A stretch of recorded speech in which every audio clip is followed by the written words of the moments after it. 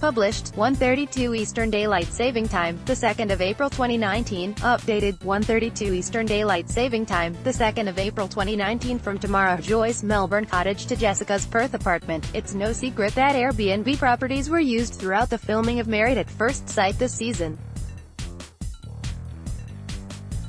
And now fans have been left wondering whether Ning Surasiang's cozy Queensland home is also an Airbnb rental. Prior to Ning's vow renewal ceremony with husband Mark Scrivens on Monday night's episode, viewers saw the mother of three return home for a week to ruminate on her marriage. Rental? Married at first sight's Ning Surasiang has been accused of using an Airbnb. Pictured on Monday night's episode while the 32-year-old was seen wheeling her luggage through what looked to be her bedroom, it quickly became apparent the interior looked very different to what was shown during Ning's homestay week. Fans took to Twitter to complain about the apparent lack of continuity, with one tweeting, Do the producers realize we can tell the difference in houses? Ning's house from the homestay is not the same house as now, another added, oh is Ning back in her real house? Doesn't look like the Airbnb.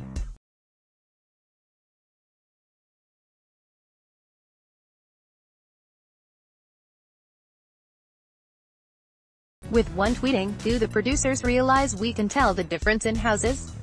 Ning's house from the homestay is not the same house as now Daily Mail Australia has reached out for comment. It comes after MAFS bride Tamara Joy confirmed that several of the participants' homes are actually rentals.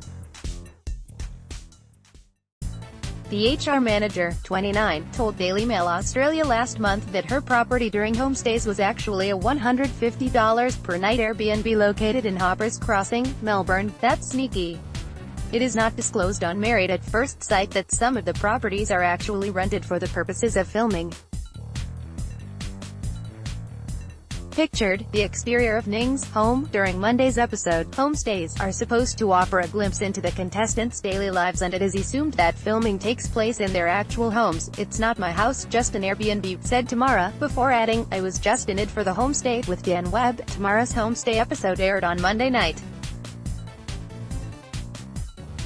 There was no indication given that the Hoppers Crossing property was a rental. Whatever happened to reality TV? Married at First Sight's Tamara Joy recently confirmed her Melbourne property during homestays, pictured, was actually a $150 per night Airbnb mystery solved. It's not my house, just an Airbnb, Tamara told Daily Mail Australia. Pictured as the exterior of Tamara's Airbnb rental home the property, which is built on Airbnb as its sun-filled family home en route to Great Ocean Road, features three bedrooms and two bathrooms.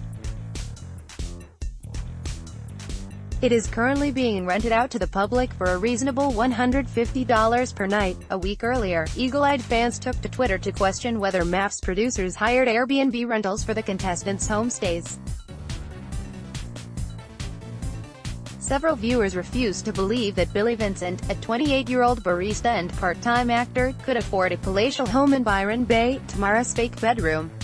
Tamara confirmed that her property during homestays was actually a $150 a night Airbnb located in Hoppers Crossing, Melbourne.